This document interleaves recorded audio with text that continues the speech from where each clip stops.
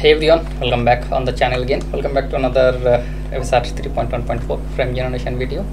Today we are taking a look at uh, Wuchang Fallen Order Fallen Feathers sorry.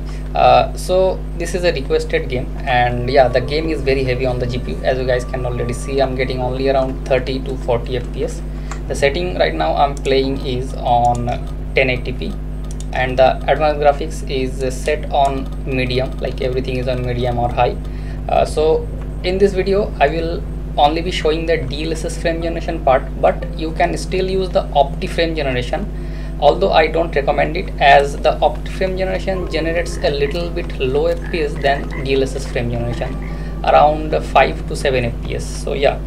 If you are skeptical about uh, FPS I do recommend using uh, DLSS frame generation. Also uh, this game does have FSR frame generation in it like if I go to the setting uh, you can see here a frame generation option but that is only available when you are using the FSR upscaler because the frame generation is tied with the FSR upscaler.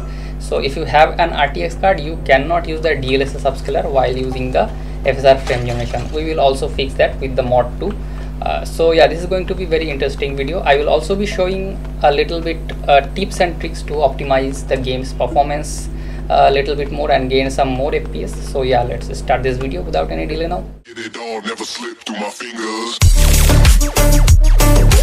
Alright so after quitting we will be needing this zip Wuchang DLSS FG so we're gonna extract it on the desktop. I have already tweaked and edited everything which is needed in order to make the mod work. So you guys don't need to do anything extra. Only just uh, download the file extract the zip copy the files then go to the game's installation directory for me which is uh, here.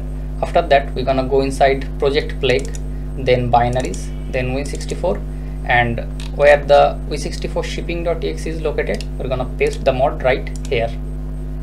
After pasting you don't need to do anything because i have already done the what do you say uh, fg type to uh, nukems fg type so all you guys need to do is download the mod and paste it.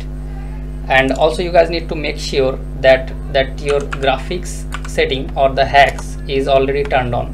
So you can run to the windows run menu then type in graphics setting and make sure that HAGS or hex is already turned on.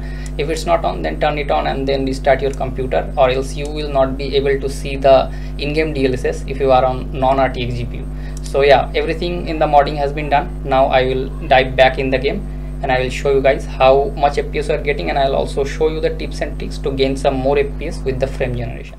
Get Wuchang Fallen Feathers Deluxe Edition at just 149 rupees. Still waiting for Ubisoft to drop the price?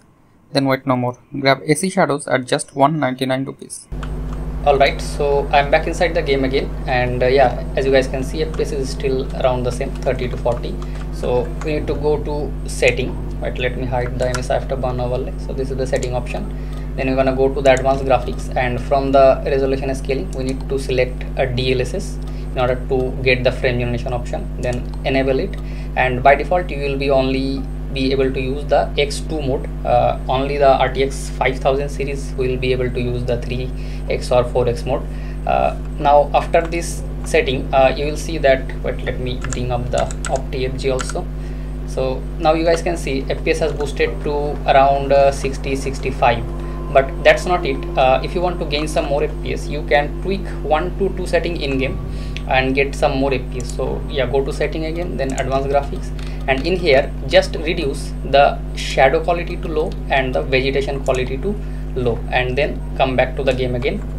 And you will see that you have gained like 10 to 15 fps like from 60 to 75 fps and without recording i was able to hit around maybe 80 85 fps so yeah only those two settings are very uh, what do you say demanding but one thing you need to make sure that the vegetation quality reducing the vegetation quality to low will make all the trees statics like you can see no leaves are uh, moving anywhere. So when you change the vegetation quality to medium where is it?